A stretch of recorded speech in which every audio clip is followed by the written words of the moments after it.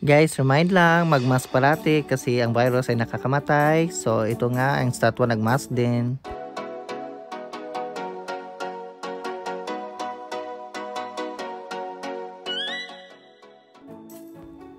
Hi guys, so for today's vlog, I'm here in New York City. I'm going to Philippine Embassy to renew my passport because it's about to expire on June this year. And so I'm walking right now here in New York and it's very cold actually guys. And as you can see the Philippine flag is right there. So that's the Philippine embassy and let's go inside.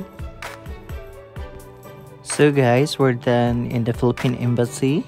It only took me like 15 minutes to be done for my passport but it's not yet ready. It will get ready estimated on March 21st I hope I can get it before that day. So right now we're walking here in Rockefeller Center and as you can see that beautiful church is St. Patrick's Cathedral. And this one is the Rockefeller Center. And that's the statue of Rockefeller. Just kidding. So that's the building. And this is the church. So as you can see this is one of the famous spots here in New York City especially during the Christmas because they're gonna decorate this very beautiful with Christmas tree. And it's very cold. It's 18 degrees Fahrenheit I think so yeah we're walking walking and walking. So you can see this fountain. You're gonna throw a coin. Lol. And this is me walking. This is the NBC News studio or what you call it. So there is the two guy waiting outside and then there is Karen Davila reporting, lol. And Ted Filon. and this is the another studio. This is the 24 Horas, lol. That's Fox News. We're in Bryant Park right now. That's There's two ladies in there. Hot spot. And let's go inside. Let's go inside. So there is no people because it's still too early 9 o'clock and you can see there is Le Pain Quotidien. I don't know if I say it right. And that's the Bryant Park fountain and this is the skating rink. So oh there's quite few people here. And tulon sa Taglaway no. So that's people skating in there so those people who's wearing in yellow jacket those are the guards. So there are people there skating with their bags and then i get hungry but their waffle is too expensive so i just get myself a very hot chocolate with whipped cream on top. So it will help me warm enough already so and this is me talking, so listen guys. So guys, dahil 2 o'clock pa yung appointment ko sa dentist, tapos 9 o'clock yung appointment ko sa passport, so sobrang maaga ko.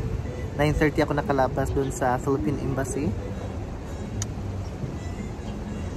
So maghihintay muna ako ng ilang oras, pero I'll try to call them na punta na ako ng early, baka may mga nag-cancel ng mga appointment nila, so baka masingit nila ako ng maaga.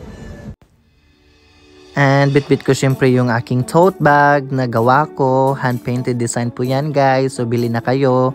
Open nyo lang itong Instagram ko. Thank you. So ito, saan tayo? Maglalakad tayo. Nandito tayo sa 33rd Street. Pupunta ako ng Korean Town kasi nagutom ako. And ito yung Empire State Building sa malapitan. Tapos ito yung mga kalapati, binabahogan ni nanay, siguro mga alaga niya yan, tapos lilitsunin din niya yan, charot. So ito yung Korean town, ang daming mga bahay kubo sa gilid, charot. And ito, hindi na ako kumain. Nag-shopping na lang ako sa H&M kasi bakit hindi naman. Maraming, maraming mura sa clearance section. Haha. And ito, naglalakad na ako papunta sa dentist ko. Tinawagan ko sila. Sabi nila may 12.30 na available. So, ayun, pasok ako ng maaga para makauwi ako ng maaga. And makakain na ako ng maaga. Actually, late na kasi hindi pa ako nag-almusal at nag-lunch. So, ito, sobrang lamig. Pumipikit na yung mata ko. Siguro na pulling ako. May itchanim ako. Pinakita ko yung bag. Haha, ito naglalakad-lakad. Ay, ang tagal naman. Tapos, nandito na ako sa office. Bye-bye. So, andito ako. Lilinisin na nilang ngipin ko. Guys, tapos na tayo dun sa clinic. And ngayon nandito ako sa Central Park kasi malapit lang ito sa clinic. And nagpapahangin lang ako. Charot. So guys, kung napanood nyo yung helicopter tour ko, sobrang laki talaga ng Central Park. Makikita nyo dun sa taas. And di ko pa napuntahan yung side na to. Nandito ako ngayon kung saan yung malaking lake. Kasi may maliit na lake. So may malaki din. So ito yung malaking lake. And di ko pa yung napuntahan yung side na to. Kasi sobrang laki nga, sabi ko. And kung lalakarin namin from the start, sobrang tagal, aabuti ng isang oras or mahigit. And dito yung mga puno, walang dahon kasi winter and may nag-iisa doon, survivor. So ito, uwi na tayo guys. Punta ta na tayo ng train station kasi sobrang lamig na. Uwi na ng Jersey City. And dito ako guys, may sinasabi ako kaya pakinggan nyo. I forgot to bring my gloves. So wala akong gloves. Nagda-dry na yung kamay ko. So punta na tayo sa ating punta na tayo sa train station.